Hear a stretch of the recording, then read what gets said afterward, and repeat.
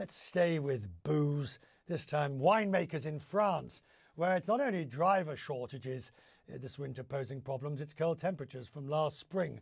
Now, the grape harvest this year has been the victim of wild weather, and the wine industry is paying the price.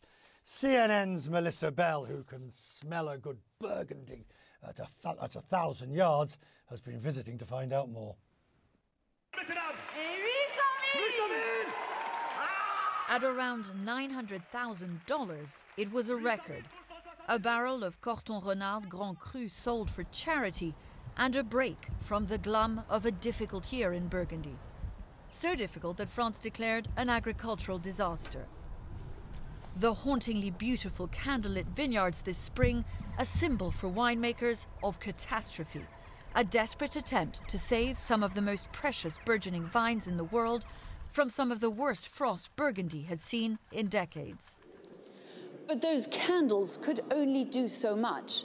In the end, those freezing nights of April led to this.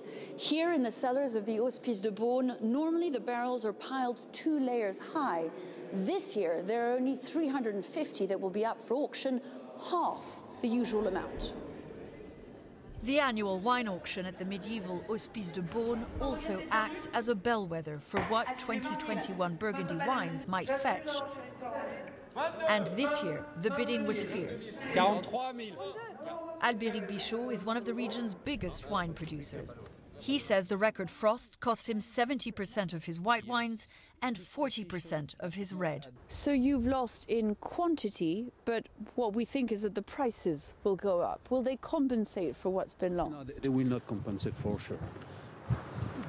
Totally for Burgundy, it's almost 1 billion euro of loss within three nights.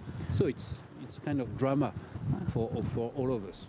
Pommard, Meursault, Nuits Saint Georges, villages whose names resonate throughout the world, but from which there will be far less wine in a couple of years when the 2021 harvest is ready to be drunk. Meanwhile, Albéric Bichot opens a mm. bottle of his 2013 Vosne Romanée. As for the 2021 harvest, he explains that a small one can also have advantages. We have a high concentration of the juice, both for Chardonnay and Pinot Noir, so we are still still uh, early to, to know.